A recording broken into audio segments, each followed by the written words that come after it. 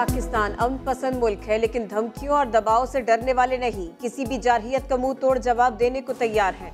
पाक फौज के सिपह सालार की लाइन ऑफ़ कंट्रोल के अगले मोर्चों से भारत को ललकार। आर्मी चीफ ने जवानों के बुलंद हौसलों की तारीफ़ की।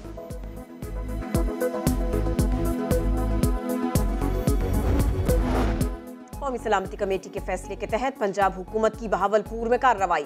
कलदम तंजीम का मुबैना मरकज सरकारी तहवील में ले लिया गया। मदरसा साबिर में सरकारी एडमिनिस्ट्रेटर मुकर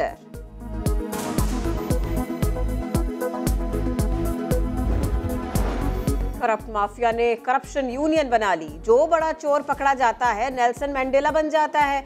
जितना शोर मचाना है मचा लें।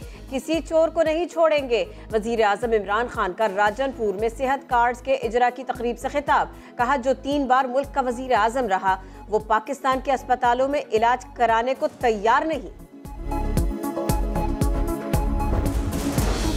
मुकद्दस ऐवान।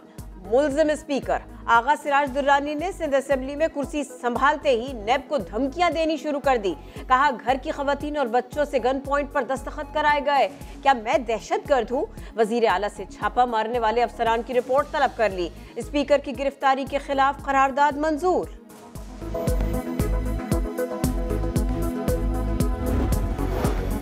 आसिफ अली जरदारी की आगा सिराज दुरानी से स्पीकर के चैम्बर में मुलाकात। शरीक चेयरमैन पीपल्स पार्टी ने खैरियत दरियाफ्त की। केस से मुतालिक भी तबादला ख्याल, जियाल अरकान असम्बली भी मुलाकात में शरीक थे।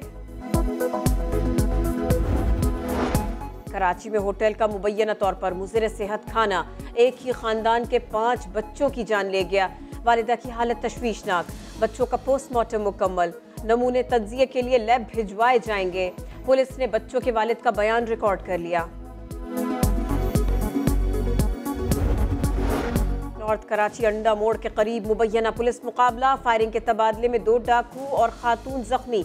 एक डाकू दम तोड़ गया, दूसरा डाकू और खातून अब्बासी शहीद अस्पताल मुंतकिल। यूपी मोड़ पर फायरिंग, दो अफराद की जान गई।